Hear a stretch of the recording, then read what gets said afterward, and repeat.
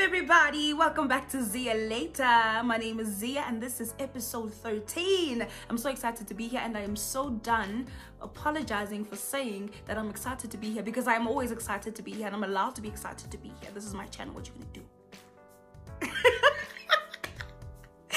Thank you so much for tuning in. If this is your first time tuning in, I really hope that you love this channel. I really hope that you subscribe, you like, and most importantly, I hope that you share this with someone else who you feel needs it. And if you are back for yet another video, welcome back. Welcome back. Thank you for your loyalty. Thank you for your love.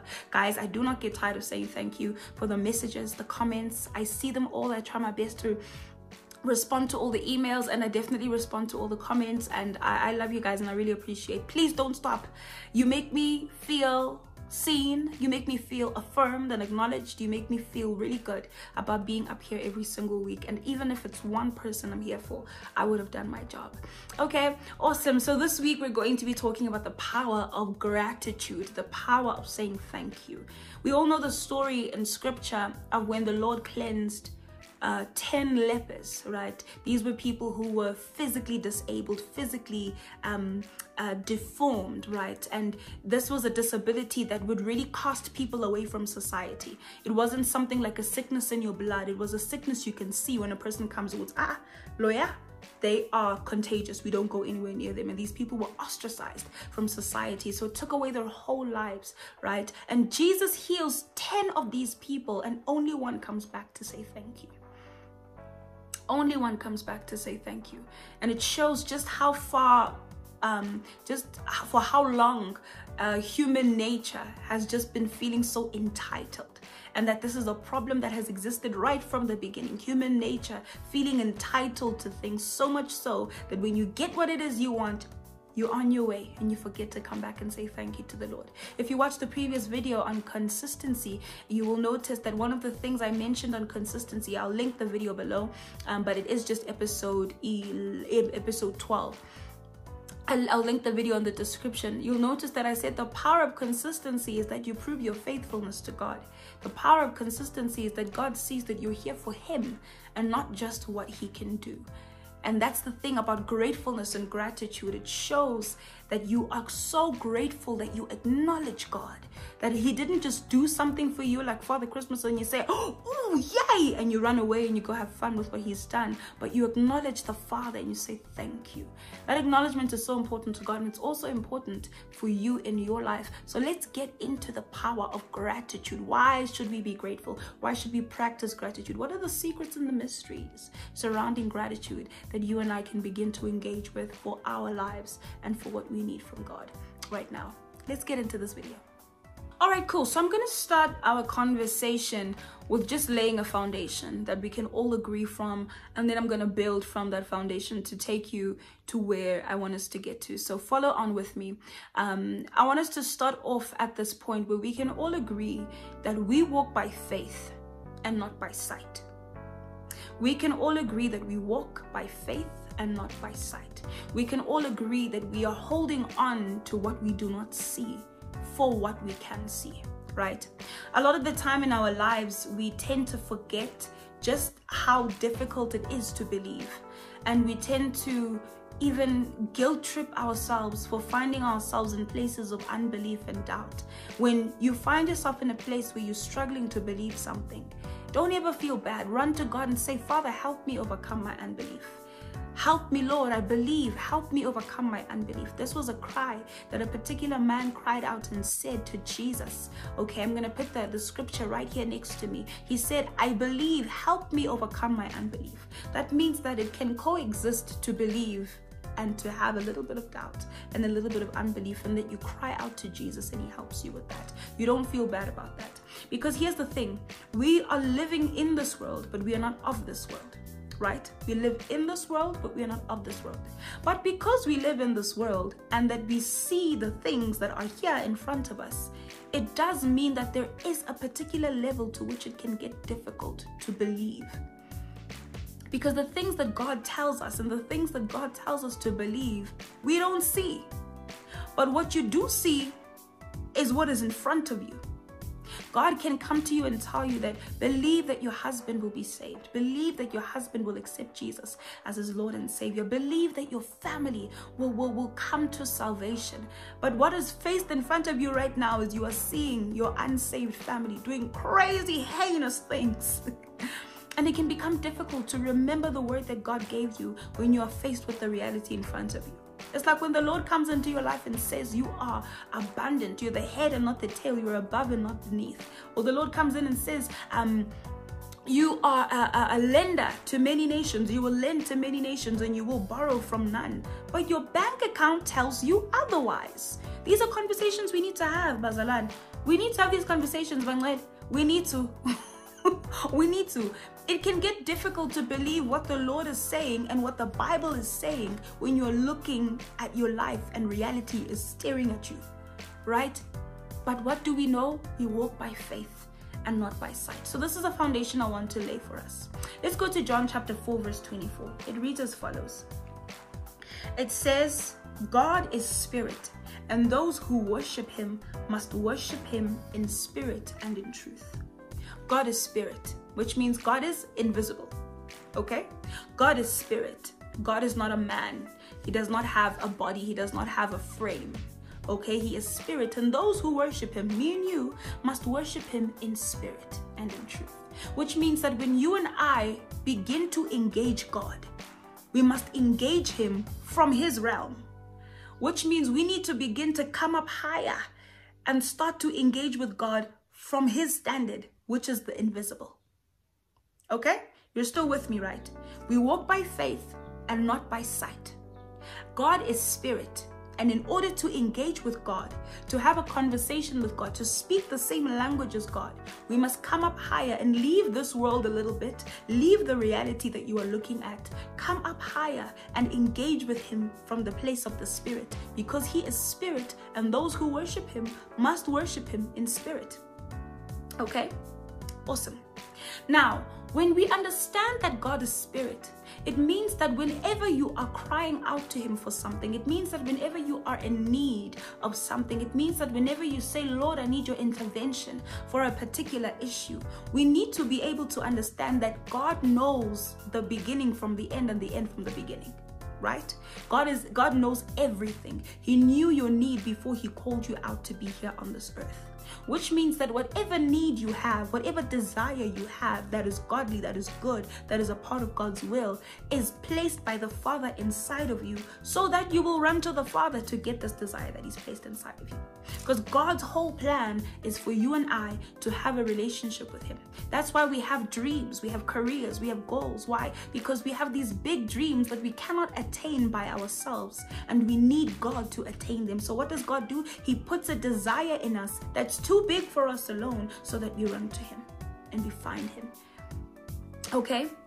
So when we are engaging God for the things that we need, for the dreams, the career, the house, the, the, the vision board, the five-year plan, whatever it is that you have, when you're engaging God, and you are you're crying out you're calling out for those things. You're calling out for your um your efforts to be recognized in the workspace you've been at. Maybe you've been working in the same place for five to ten years and you haven't been recognized. No promotion. Nobody is seeing you or you've been building a particular company a particular brand of yours and the, the campaign managers and the the, the, the, the, the clients are not seeing you. They're not funding you. And you're saying lord what is it gandin lengaga what is it? Why am i not being recognized? Why does it seem as though you're not here in this particular topic for me, God? It's time to come up higher and engage with God in spirit and in truth, in the realm of the invisible. Now you're probably asking me, okay, Ziya, where are you going with this? Come on this, come on this train with me. I'm going somewhere. Psalm 37, verse 4. Okay, Here's how it reads it says, Delight yourself also in the Lord, and he shall give you the desires of your heart. Okay, so this scripture is often mixed up and it tends to sound as though um, it says, Delight yourself in the Lord and God will give you whatever you want. No, it says, Delight yourself in the Lord and God will give you the desires that you should have for where you are going, for your purpose. God will give you the desires you need to fulfill your purpose. Okay, so I'm showing you the scripture to substantiate what I just said to you that everything you desire from the inside of you is placed by God, right? Every good thing, every purpose thing everything that is within God's will. All right. So we're obviously going to, I think I should, every single time I say something, there's a new video that comes up. But we definitely need to speak more about um, the kind of prayers that get answered. Um, you may find that you are praying and you're asking the Lord for something and it's never answered, mostly because it's not in line with God's will. So it's not enough that you want something. It's not enough that you want something. That thing that you want must be in line with the purpose and the will that the Lord has for your life. And um, we'll get into that all right? So basically the scripture is telling us and showing us that we have desires that god places inside of us for what he wants to do in us. And the desires that he places inside of us that are good that are holy desires like getting a new job desires like growing um, growing in your your career in your work field whatever it is that is in line with god's idea for your life these desires are placed by god and can only be achieved with god Okie dokie, okie dokie. And now, how do we engage with these things that already exist? We come up higher. We go up to the place in the spirit, which means we are engaging with things from the realm of the invisible. That means, in order for us to find the solutions, to find the answered prayers that we are crying out to God for, we need to first understand that they already exist. Okay? How do we know they already exist? Because Psalms 37 verse 4 tells us that when you delight yourself in the Lord, He gives you the desires of your heart. So if God is the one giving you the desires of your heart, He's giving you from Himself, from His high place, from His place, His realm of invisibility, His realm of totality, His realm where there is no lack from Himself. Right? God is giving you a desire for something because He's already provided the solution and the provision for it. And your job now is to engage with God and begin to cause it to materialize. Okay? We are praying because we are engaging with the Lord so that heaven can come onto earth right? You will you will notice that that is a part of the lord's prayer. It says let your will be let let your will be done. Let your kingdom come on earth as it is in heaven so when you're praying and you're asking the Lord for certain things, you're not asking brand new things from God. He placed them inside of you. What you're actually saying is, Lord, let what already exists of me in the heavenly realm, in your realm where you are, where you are God, where you are spirit, where you are existing, where you are reigning, that realm where it's invisible, where I don't have access. Let the things of my life that already exist there come to me here. That's what prayer is. Okay? And now, a very, very powerful tool in doing that exchange and getting that exchange to happen for you is gratitude. That's why we are here today. This is where I was going. Gratitude is a powerful tool to get everything that the Lord has for you, all the way up there, to come into your life here. Okay? Once you've assessed your desires and you see that this is in line with God's will, this is in line with God's word, this benefits the kingdom of God. Okay, we're going to have a, a, separate video on this, just looking at your prayers and maybe why your prayers are not being answered. I think I'll make it the next video. I'll speak to the Lord. And the thing about this is when you begin to exercise gratitude, you are engaging with the invisible and you're applying pressure for these invisible things to be pushed out and to come into the natural realm. Okay, let me show you in scripture what I mean. All right, let's go to Mark chapter 11, verse 24. Mark chapter 11, verse 24. Quick disclaimer, guys this Bible, I have had it, I don't know for how long. My mom got me this Bible. It still has a little note that she.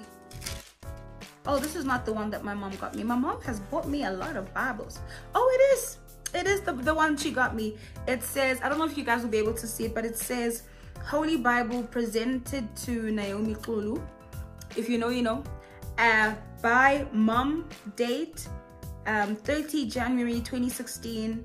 occasion leaving home to Wits University. That's this is the Bible that my mom got me back in 2016. It's all written here. I don't think you'll be able to see it, but yeah. Um, so I'm very connected to this Bible. It's not that I can't get another Bible or anything like that. It's just that it's a little weird, and I do have other Bibles. It's just this one is just so close to my heart because my mom got it for me. okay, cool.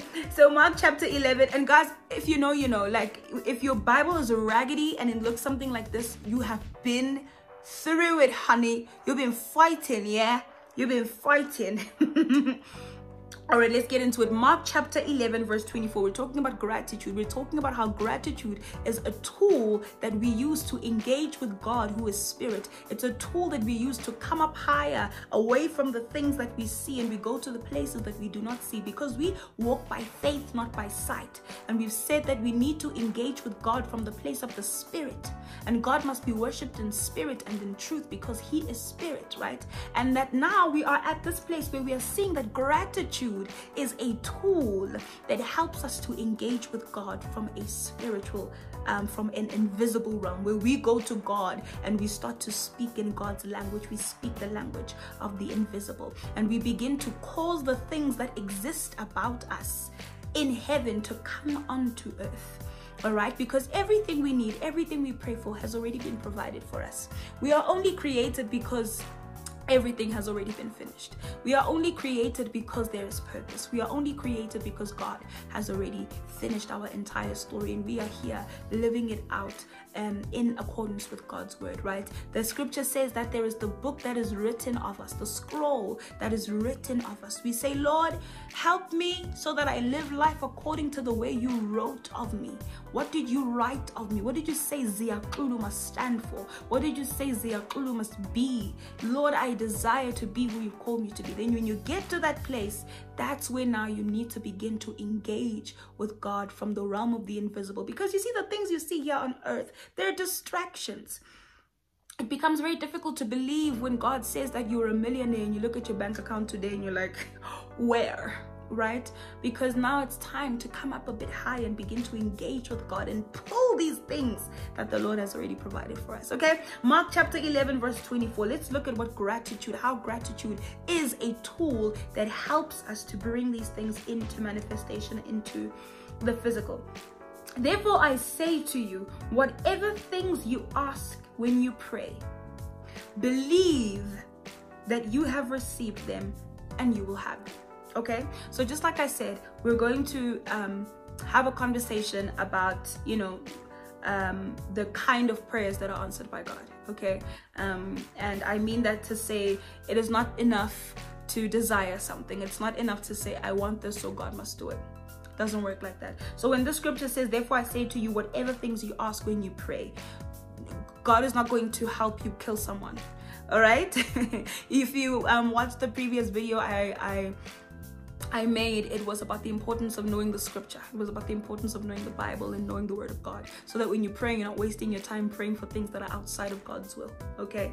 So um, when I when it's written here, it says whatever things you ask for when you pray, it's whatever things that are within God's will that you ask for. Okay? Just a quick disclaimer, but we're gonna do a separate video about that. Therefore, I say to you, whatever things you ask when you pray, believe that you have received them and you will have them. The scripture is emphasizing that whatever you want from the Lord that is within his will that you ask for, believe that you have received it and you will have it. Believe. Believe. Well, what does believe? What does it mean to, to believe that I have it? I do believe. Yeah, I believe. Now what? You know, mm -mm.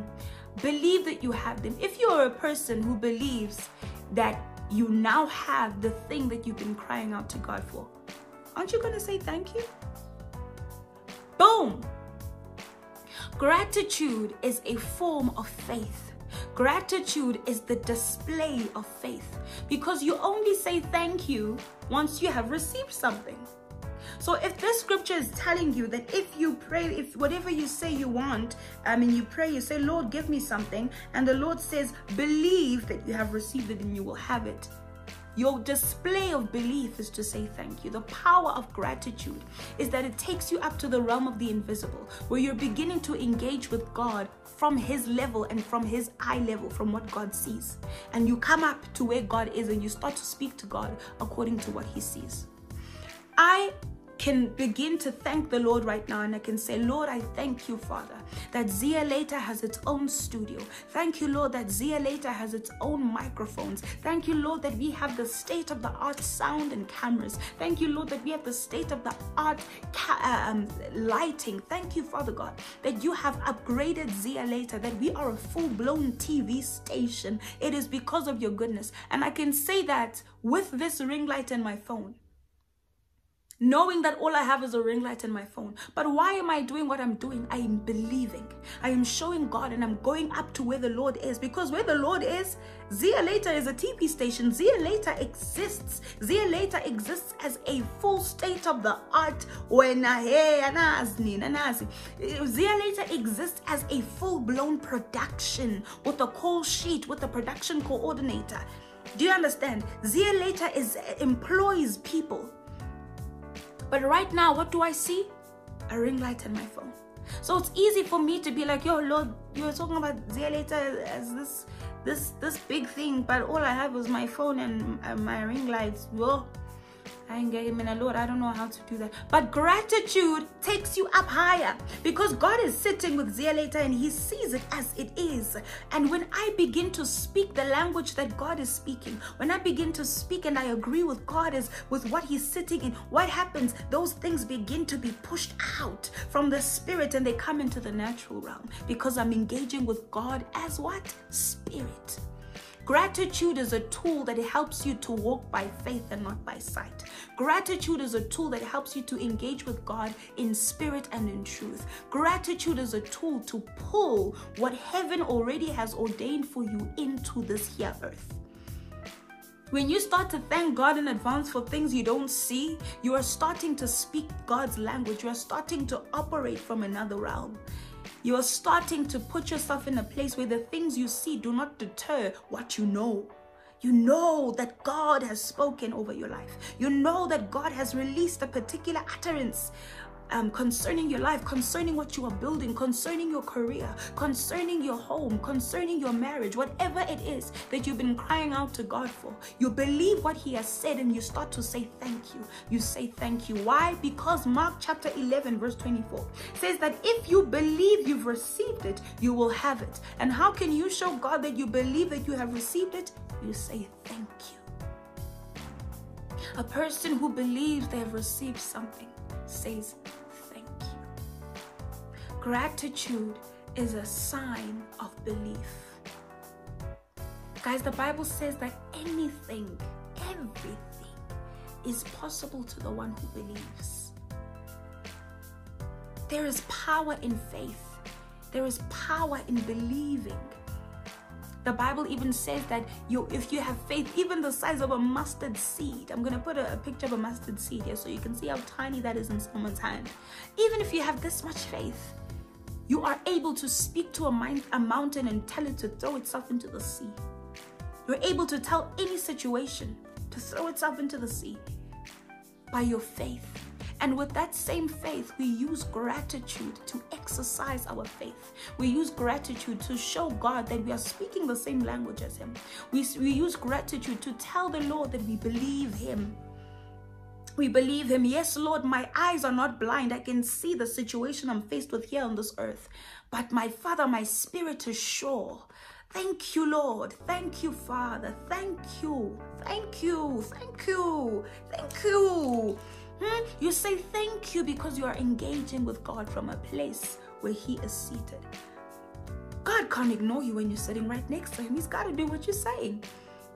He's got to do what you're saying. Let me give you an example if you go up on the stage and you are talking about me on the stage, I'm sitting in, in the audience and you say, um, you know, and I'd like to thank you, Ziya, so much for having me as a guest on Ziya Later. And Ziya, I want to say thank you that you're taking me to a spa next week. And everyone goes, wow, Ziya, you're taking her to a spa. Wow, wow, wow. Am I not compelled to take you to a spa now because you've gone and said it in front of the people?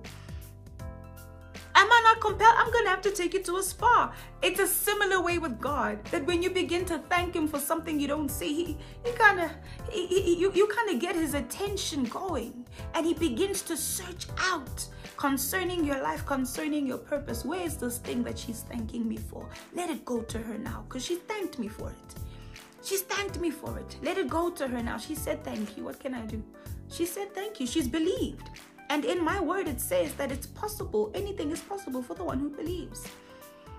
This is what I love about scripture, guys. It gives us a, a, um, a platform to have dialogue with God.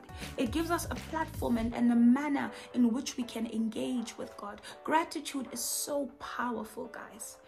The Bible even says that when we enter the courts, when we come to God, we should come with thanksgiving. If we have requests and things of that nature, it's great, but come first with thanksgiving. Say, Lord, thank you. Thank you, Lord. And here's another thing that, that gratitude does, guys it shows you what you already have. Because whenever you're coming to Christ and you're saying, Lord, I need this, I need this, I need this, I need this, with no gratitude in your heart, you will not be able to recognize anything that God is doing because you're so need focused. Gratitude opens up your eyes. You know, I'm an actress, right? And if you are in the arts and media space, you will know that one of our biggest things that we all pray for is stability in our careers, right? We all pray that we are always working, and it doesn't always work out that way, okay? It doesn't always work out that way. We do find that we have certain um, months that are slower than others, and other months and seasons. Seasons are different, right? This is the thing about being an actor, being a, a radio presenter, being a performer, being a musician, being any anything that is within the spec of media, arts, and entertainment. You understand seasons okay? And the thing about it is, it's easy to find yourself in a rabbit hole where you're just like, Lord, I don't have, Lord, I don't have, Lord, I know, I need this, I need this, I need that. But when you're able to say, My God, you placed me on the one of the biggest shows in Africa. Father God, you placed me on an international spectrum. Lord, my name is my name is known at MTV. Father God, I bless you because you have kept me together. You've kept me sustained. Lord, there has never been a time where I do not have. Lord, I thank you that you have provided for me. Yes, my Father, I'm praying for the big things like everybody else. I'm praying for to blow up like everybody else. I'm praying for my time to come like everybody else. But Lord, I see your hand even right right now. You continue to take care of me. You continue to sustain me. Thank you, Lord.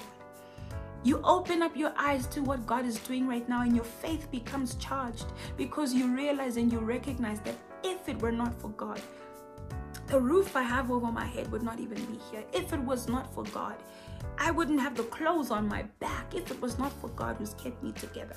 And then you come and you say, But my Father, there's this area where I need you. You see, God puts these things in place for us. It's so your faith is charged and you come to Him believing that He is. The Bible says that you need to believe that He is, and you need to believe that He is a rewarder. You must believe that He is, believe that He's listening to you. The Bible even says that if you believe that God has heard you, you can also believe that He has answered you. God puts all of these measures in place for our own good because we need to believe. So he says, start by thanking me. Why? So that your faith is charged. While you're thanking him, you're realizing, hey, bro, yes, Gembele. Oh, God has really been faithful. Wow, God has really been faithful. Okay, now that I'm asking him for this, I believe that he can do it because he's been faithful. God is setting you up for your own success. Be grateful. Honor gratitude. Honor the power that is in gratitude. Even when something is trying to ruin your mood and you can see that this person wants to cut me off in traffic, you say, Thank you, Lord, that I have a car. You swerve right on. You swerve right on. Ooh, yeah, yeah, yeah, yeah. Forgive me, I just hopped into my dream car real quick. Thank you, Lord, for my dream car. Thank you, Jesus, for the lights that come up inside of that car. Thank you for that sound it makes, my Father, when I turn on the ignition. Thank you, Lord, that I don't need a key to switch on my dream car. I press a button. Hallelujah! Hallelujah!